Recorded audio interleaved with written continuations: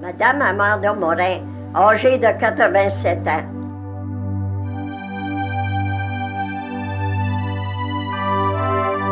Ma première larme.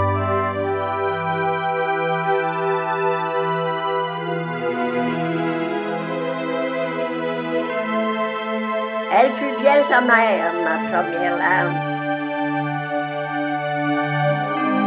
En voici l'histoire de ma douloureuse vie.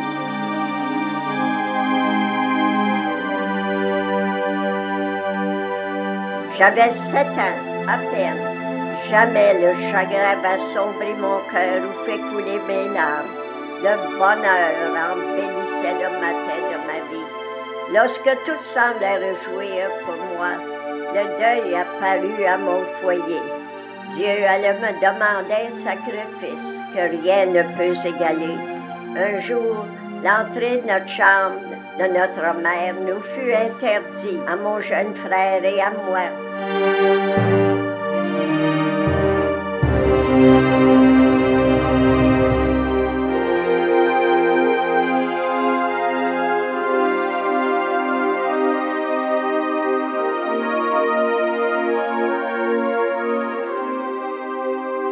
Ma main était malade et nous était défendu de la voir. Je ne comprenais pas trop cela. J'avais déjà été malade moi aussi. On m'entourait de soins sans que personne s'y imposa. Une fois bien à la curiosité de nos cœurs, nous allons, mon petit frère et moi, frappa tout doucement à la porte de la chambre de notre mère, et j'attendis dire à papa, Faites-les entrer, ce sont peut-être nos enfants, je veux les voir. Et papa nous prit, mon petit frère, dans ses bras et moi par la main.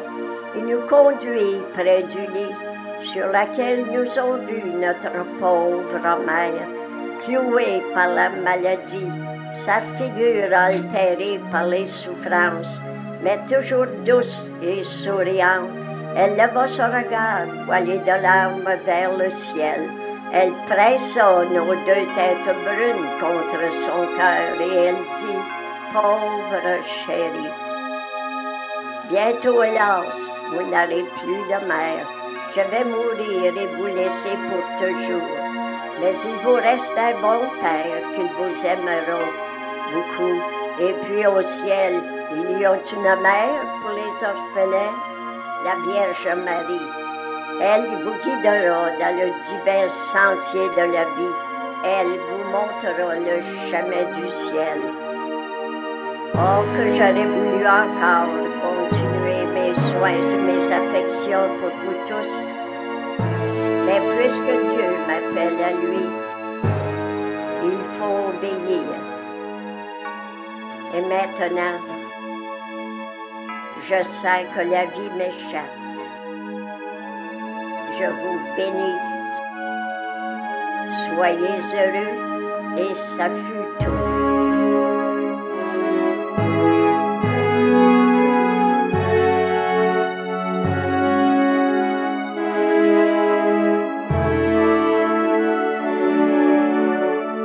Je me penchais pour recevoir le dernier baiser.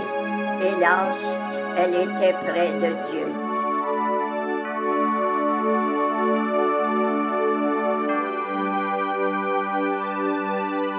Une larme, la première que j'ai versée.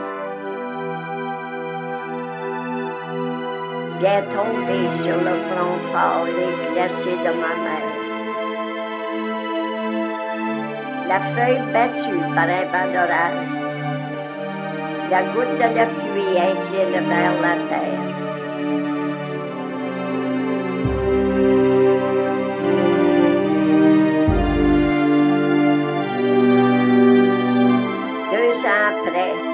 Je communiais pour la première fois.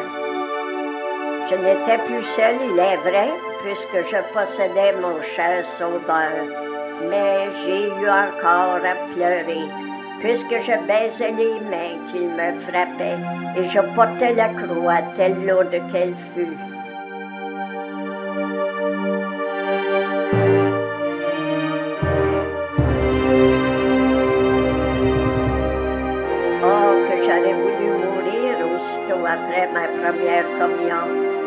Dieu ne l'a pas voulu, puisque je devais boire le calice des souffrances jusqu'à le lit. Enfin que j'étais, je suis devenue jeune fille dans le monde avec l'âge et avec le souvenir de ma première larme et celle de ma première communion. Et quand je vois passer une jeune fille rayonnante de bonheur à côté de sa mère, je me dis en soupirant, moi aussi j'avais une mère.